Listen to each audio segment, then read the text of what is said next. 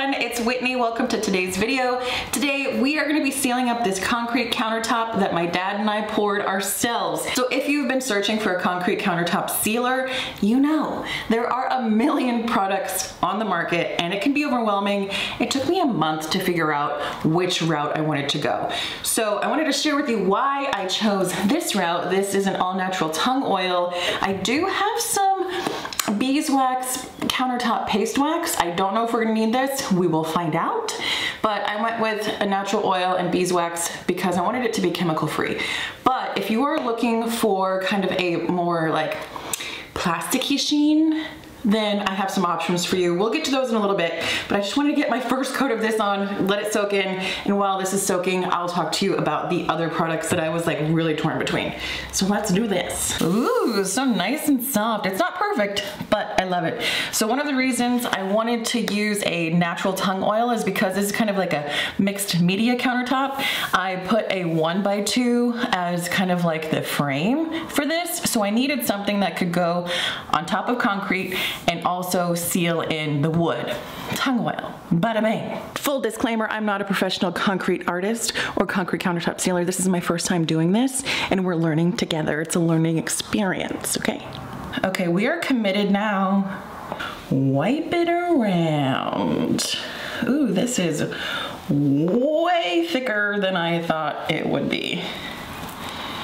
I don't know what I was thinking, but I wasn't thinking this. It actually looks really nice over the wood. I think this is going on well and how it's supposed to. It looks like the videos I've watched. the good thing about tung oil is that it is all natural. It's food grade. Um, you don't have to worry about any chemicals on your countertops. Um, and then you can reseal it. Like if you need another coat down the line, you can just do another refresher coat. First coat is done, it's looking pretty good.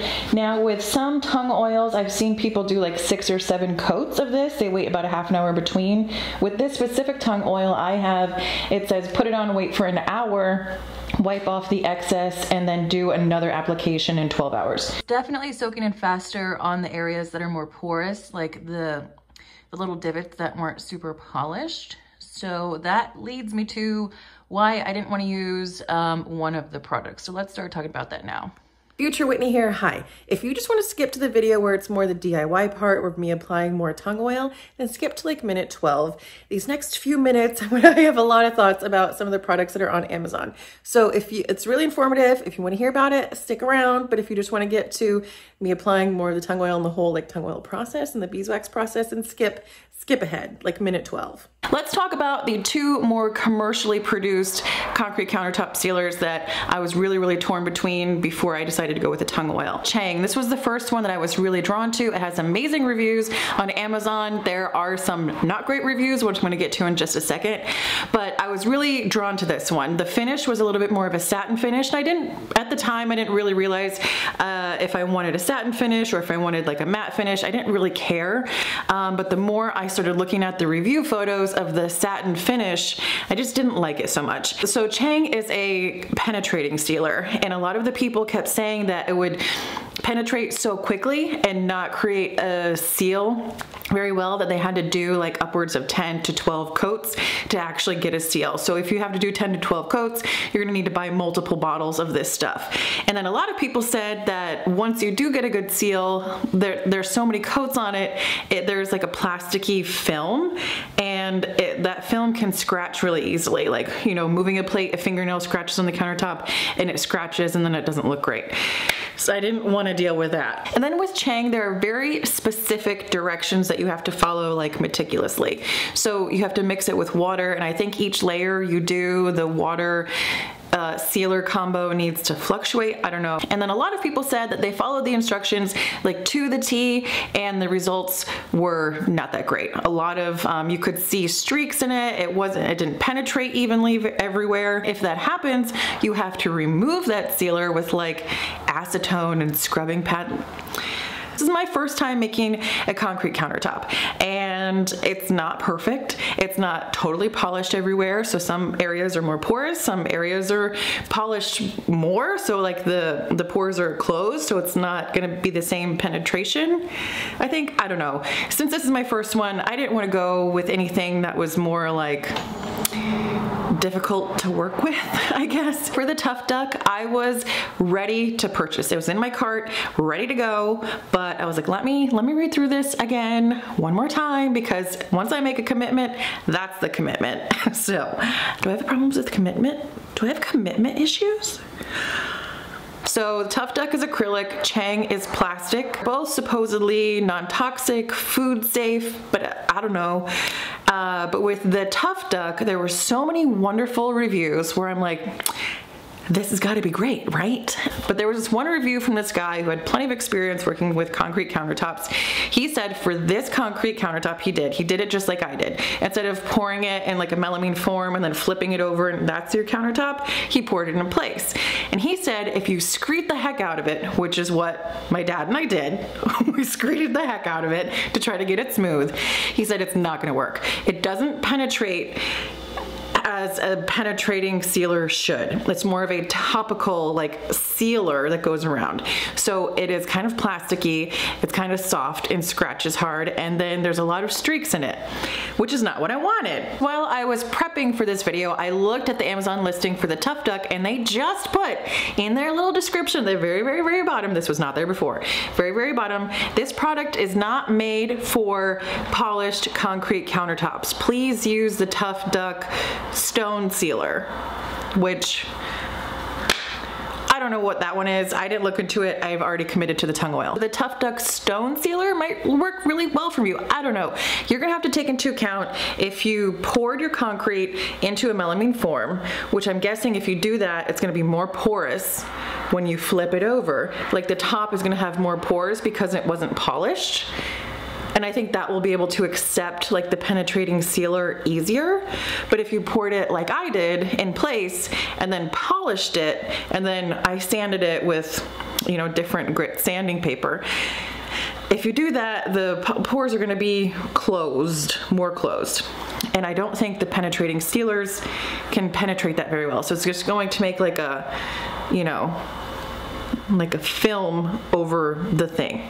Eh, kind of like a polyurethane or like a shellac, I'm guessing, you know, just kind of goes over and seals it. I mean, you could, you could totally polyurethane or shellac a concrete countertop, I think. How did I get to deciding on tung oil and possibly the use of a beeswax paste wax? I just YouTubed, I Googled, what is a natural concrete stone countertop sealer? Tung oil. And it's not made from tongues, it's made from like some sort of seed watched like a million videos and the finish was exactly what I wanted. It's all natural, it's food safe, and it's easy to apply. And if you need to reapply, you can just put another layer over it in the future. And tung oil kind of hardens over time and turns into like a urethane. So perfect, right? I did see in other videos is that people were putting like six to seven coats on and their oil seemed like a lot thinner. This tung oil that I got is really thick. It was surprisingly thick because all the videos I watched, it looked like more of like an olive oil. This is more of like almost like honey. I mean, it's it's not as thick as honey, but it is it is it's pretty thick. So I think that's why the instructions for this are put one coat, let it sit for an hour, wipe it off, wait 12 hours, put another coat, let it sit for an hour, wipe it off, and you should have a good penetrated seal. And it says it might take more than two coats. We'll find out. But the question is, do we need the beeswax paste wax? I don't know. I think what I'm gonna do is go out and find one of those concrete planters we made like a long time ago and do a little tester of the beeswax on that and see if that works because I don't want to start putting beeswax on here and like ruin it. Here's that candle thing we made out of uh, the same Simmental.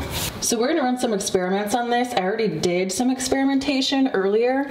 So on the bottom part, this half over here is polyurethane and this half over here is shellac. So you can kind of see the difference. They're both pretty sheeny. The reason I didn't want to do a polyurethane or a shellac is it's really easy to get air bubbles in your urethane. Then you have to sand them out. It was just kind of more of work than I really wanted to do for this. This is the beeswax paste wax stuff that I got. This is Daddy Vans. It is food safe, chemical free, non-toxic, zero VOCs. It's literally just unrefined beeswax, olive oil, and carnauba wax. So we are gonna get a little bit on a paper towel. You should probably use a cloth towel for this. A little bit on a paper towel. And we're just gonna rub it on the outside of this.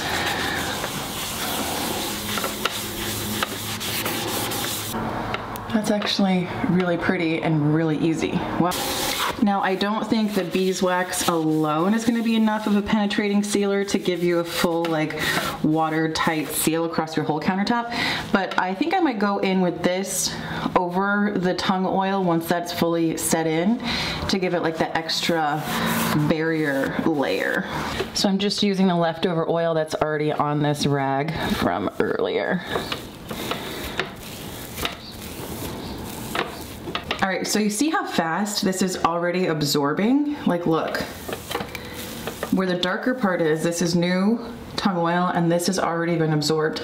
This is happening so much faster than on my screeded countertop. So this is poured concrete. We poured it into a bowl. So there are way more pores. It's way more porous when you pour it into a form than when you pour it in place and screed it and polish it. So this is basically what I saw in the videos. They would go in like every uh, 20, 30 minutes and do another coat and it would already start to dry. So that's two coats and it's like already drying. Holy camole! It is soaking it up. All right, so it is the next day. Let's check this baby out. So I got beeswax over here and I did three coats of the tung oil over here. I'm just gonna do a little water test. I mean, it kind of runs off, but you can see that it is still able to penetrate into the concrete. So this is definitely not fully sealed yet, but this is the beeswax. Well, that is like running right off. I feel like just one coat of the beeswax made a better seal than the three coats of the tung oil. Perfect, good to know. Okay, I am gonna use the beeswax. So it has been an hour and it's kind of soaked in a little bit, but we are gonna wipe off the excess and then I'm gonna go in with another coat in 12 hours. All right, I don't know if you guys will be able to see, but you see the streaks a little bit? This is what I was fearful of happening with either the Tuff Duck or the Cheng. It's not gonna happen here because we're wiping it off, but I feel like with the Tuff Duck and the Cheng, this is what people were talking about, being able to see the streaks. I'm just going with a clean rag and wiping up the excess.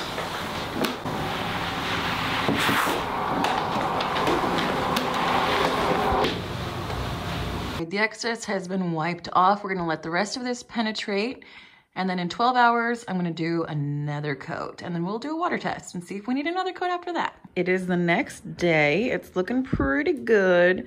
So the areas that were more porous definitely need another coat, but the areas that were more polished almost look like it's kind of sealed. So I have a wet paper towel here. Let's just do a little water test and see what happens. I mean, I feel like this is kind of sealed just after one coat. But in the more porous areas, you can see that it's soaking up into the like the lighter concrete. So far, so good. Let's do another coat. I got smart and pulled out a glove because this stuff is like rather stinky.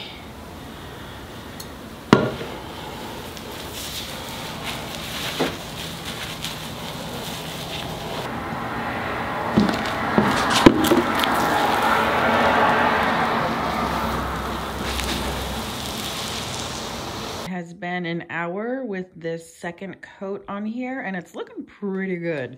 There's only one spot that seems kind of light, like it might need another coat, but there was a lot of those lighter spots up here and those look like they're pretty well penetrated. So I'm gonna wipe this off and we'll probably do a third, a third coat. I think it needs, I think it needs one more coat.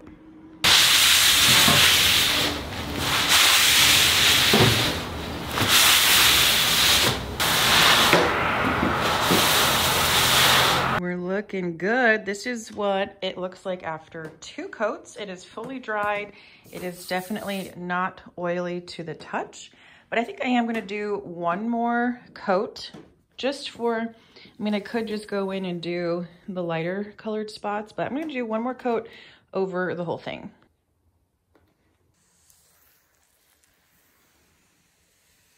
It is looking so good. Everything is soaked in. There is no oily finish. And let's do a water test. Yeah, it's definitely not penetrating in. Let me just dry it off and we'll see if there's any sort of discoloration.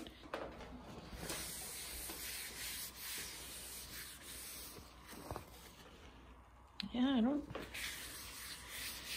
I don't think so. I think we're good. I am gonna go in with a layer of the beeswax just to give it an extra little seal. So I'm using a microfiber towel and getting some of the beeswax and going in circles.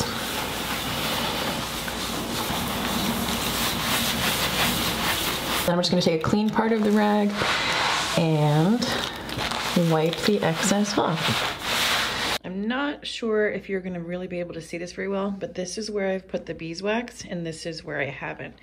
So when you first put it on, it's like pretty shiny. And when you wipe off the excess, it kind of has a satin finish, but then when it dries, it looks a little bit more matte. I think this looks really, really, really pretty. I love how my countertop has turned out. Now, a few things that I've learned.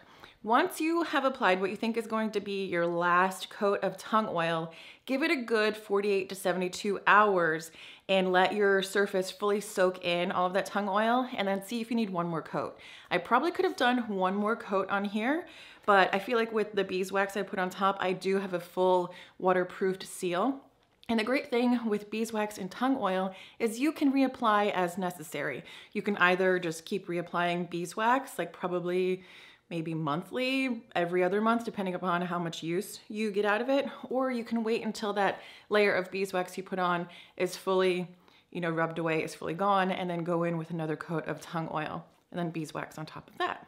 And another thing I learned is that with my particular tung oil, I don't know if this goes for all tung oils, but mine was really thick, you can dilute it with mineral spirits. And this apparently helps the helps the tung oil penetrate your concrete a little bit faster. So hindsight, would I do it like that? Maybe, but I hate the smell of mineral spirits, so I kind of like the way that I went. And as for product usage, I have a ton of tung oil left over. I mean, my bottle was just like a little tiny bottle. There's, I could probably do three, four more countertops. I mean, I have a lot of that left over. And the beeswax is gonna last me forever. I mean, um, that is gonna last me for years. If you're on a super budget, I think tung oil and beeswax would be a really great option for you. Unlike the Cheng, I think you're gonna need multiple bottles of that product to get a good seal. I am absolutely thrilled with the finish of this concrete. It feels finished, it feels sealed, it's smooth, it's kind of like velvety. That beeswax makes it like a little bit velvety feeling and it's not plasticky. It doesn't look plasticky, it doesn't look, you know, sheeny. It's not satin, it's not semi-gloss. It's not totally matte because there's beeswax on there, but it's perfect. I love it. Now with an all natural product route, there is going to be some more long-term maintenance. You're gonna have to reapply either coats of tung oil or coats of beeswax, but that is a sacrifice that I'm willing to make to have all natural products in my especially eating area. But if you aren't looking to, for the hassle of, you know, ongoing maintenance and if you're looking for, you know, a more commercial product, then look into the Tuff Duck Stone Sealer. It does say that it is non-toxic and food grade. So I haven't done a ton of research into that, but look into that if you have a poured in place screeded countertop that you're looking for a more commercial sealer for. I'm pretty sure the Tuff Duck Stone Sealer will give you a good outcome. And I don't think there's any maintenance, like long-term maintenance for that one. If you have made it to this point in the video, thank you so much. And I owe you an apology for the sound quality on this video. I just got a new, uh, it's a Rode Mic Pro. It's a really good microphone, but I don't know how to work it. And this is a very echoey room. So the sound is not that great. I do apologize to your ears. Um, but if you do like videos like this and you've stuck around all the way to the end, thank you so much. Please give it a big thumbs up and consider subscribing. I would love to have you join me here on this channel and join my little Whitney DIY fam. All right, I will see you all on the next one. Bye.